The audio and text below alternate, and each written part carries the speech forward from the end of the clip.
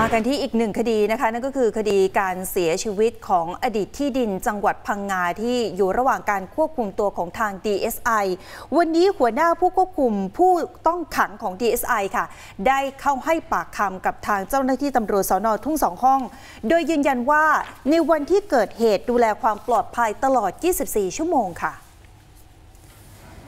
นายชยพลหวานชะเอมเจ้าหน้าที่คดีพิเศษ หัวหน้าผู้ควบคุมผู้ต้องขังกรมสอบสวนคดีพิเศษ ได้เดินทางเข้าพบกับพนักงานสอบสวนตำรวจนครบาลทุ่งสองห้อง เพื่อให้ปากคำในฐานะพยานในคดี การเสียชีวิตของนายทวชชัยอนุกูล เจ้าหน้าที่ที่ดินจังหวัดพังงา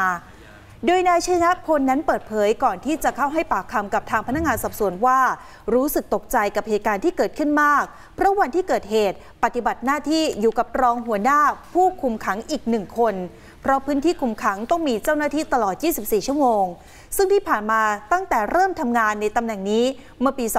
2553 ก็ปฏิบัติแบบนี้มาโดยตลอด และไม่เคยบกพร่องต่อหน้าที่ นายชัยพลระบุว่ามีหน้าที่รับผิดชอบในการตรวจสอบเอกสารของผู้ต้องขัง และคอยตรวจสอบความเรียบร้อยของผู้ต้องขัง แต่รายละเอียดของการปฏิบัติหน้าที่ที่มากกว่านี้ไม่สามารถเปิดเผยได้ เพราะต้องขออนุญาตผู้บังคับบัญชาก่อนและขณะนี้ต้องขอขอบคุณผู้บังคับบัญชาที่อยังเมตตา เพราะเหตุการณ์ดังกล่าวที่เกิดขึ้นมีผลทางวินัยโดยตรง เพราะเป็นส่วนงานที่รับผิดชอบค่ะ ในส่วนของกล้องวงจรปิดภายในจุดเกิดเหตุ ยืนยันได้เพียงว่า บริเวณห้องคุมขังมีกล้องวงจรปิด แต่อยู่บริเวณทางเดิน ไม่ได้มีในห้องขัง แต่ก็ไม่ได้อยู่ในส่วนงานที่ตนเองรับผิดชอบ จึงไม่ทราบว่าภาพที่บันทึกได้นั้นเป็นลักษณะใดค่ะ